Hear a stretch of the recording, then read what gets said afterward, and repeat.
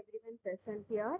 Uh, I'm Sangeeta Lakshmi, working as Assistant Professor in EC Department at RMK College of Engineering and Technology. So we are going to discuss about the subject FPGA architecture and applications. In this unit 3 is building blocks of FPGA as well as CPLDs. So today we are so now we are going to see the commercially available FPGA that is field programmable gate array. Uh, we all know that in FPGA it contains the three uh, basic elements. One is programmable logic cell, right? The second one is programmable wire or interconnect, and third one is called as IO blocks. Okay, so in this um, Actel FPGA, it is based on a multiplexer. The programmable basic cell is mainly depends on the multiplexer. Okay, so here they are using the 2 is to 1 mux in a tree like structure. Okay, so the different types of logic modules um, it's available in different version. In first Actel 1 version, they are using the programmable basic logic cell is called as logic module. The name is given for the programmable logic cell by the Actel FPGA vendor is LM, logic module.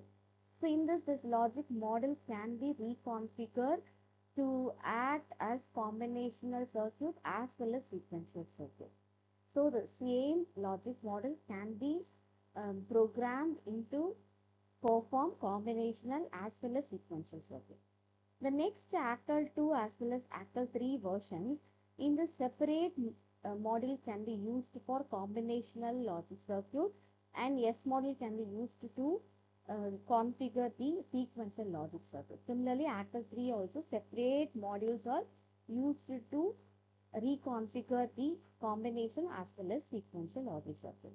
But why we are going from Actel 1 to Actel 2 as well as Actel 3 means in this logic module in Actel 1 version, same model can be reconfigured to act as combination as well as sequential.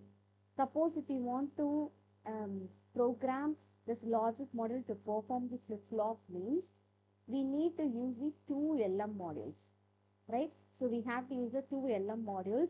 If we are correcting these two LM modules, then only it will act as a flip-flop, right? So this wire will lead to delay, right? So to overcome this delay, we have to use the Actel 2 as well as Actel 3 version in which we are using the separate C model as well as S model.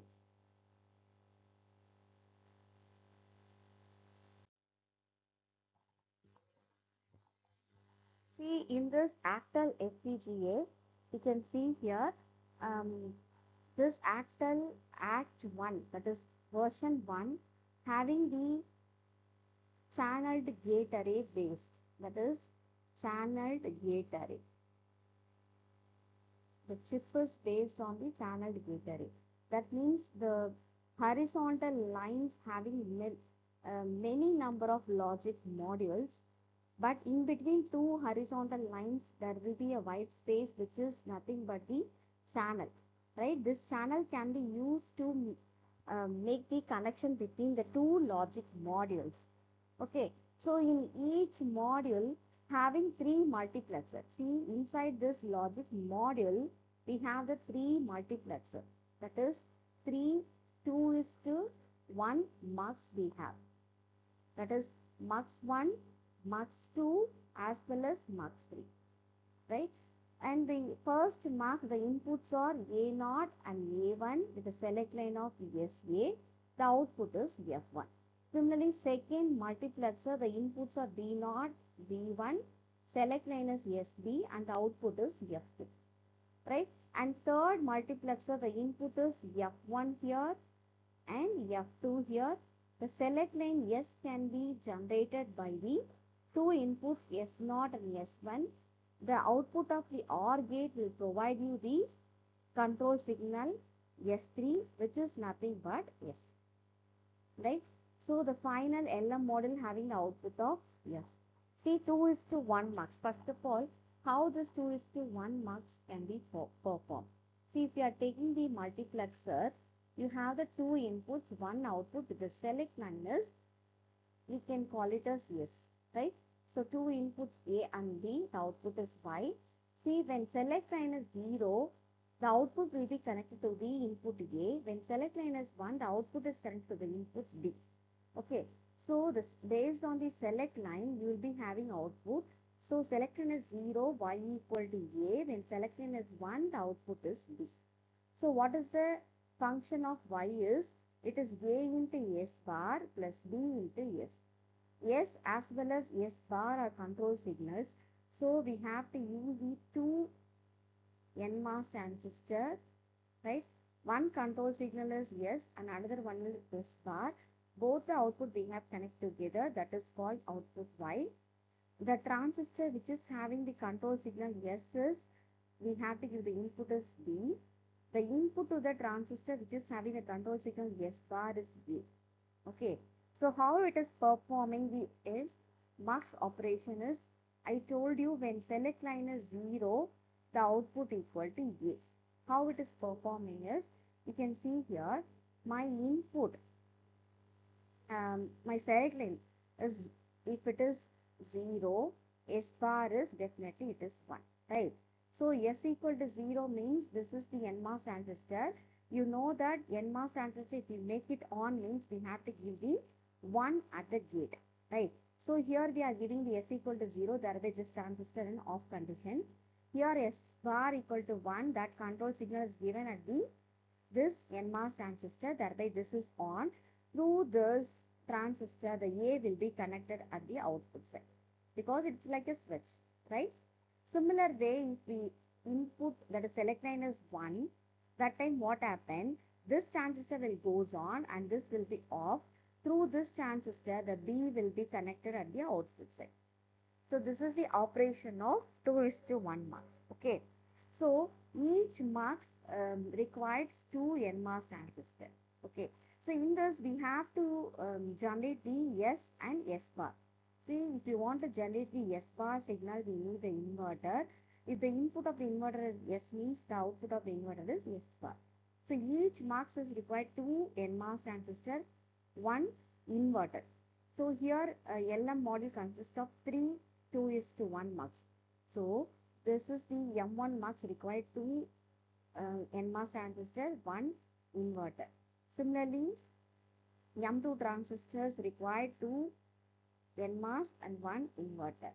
And for the uh, third M3, it requires 2 transistor plus 1 mux. So totally 6 NMOS transistor with 3 inverters required. Along with that, 1 OR gate is required. Right? 1 OR gate. 2 input OR gate is required. This is the construction of LM module. Okay.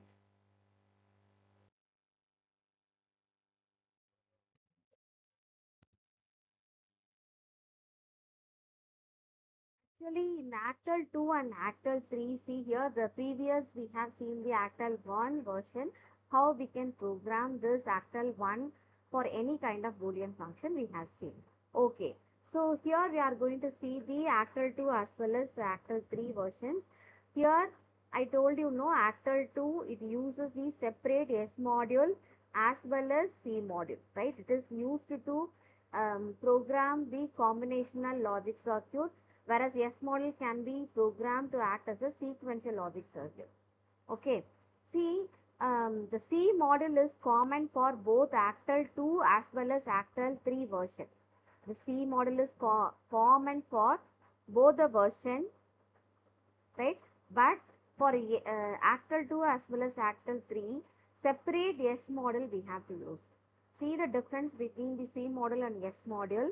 In the um, both the cases we have the 4 is to 1 mux right? The data it is 4 input data right? One output it is 4 is to 1 mux with the two control signals because we have the 4 inputs.